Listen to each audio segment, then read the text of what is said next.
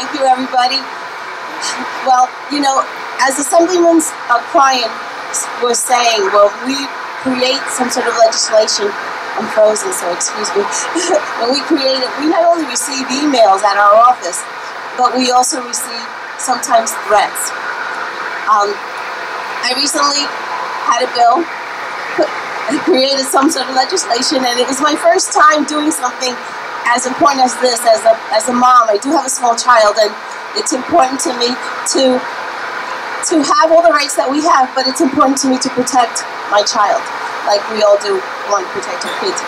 And um, I received a lot of emails and a lot of threats, even personally at my own home. So when when somebody asks you, well, we have the right to bear arms, and yes, we do have lots of rights, but we also have rights to protect our kids and protect ourselves. And guns aren't the answer, so we have to work together and continue rallies like this.